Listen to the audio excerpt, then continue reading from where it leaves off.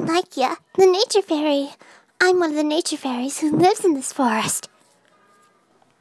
Of course I know it. The magic totem is well known here. Follow me.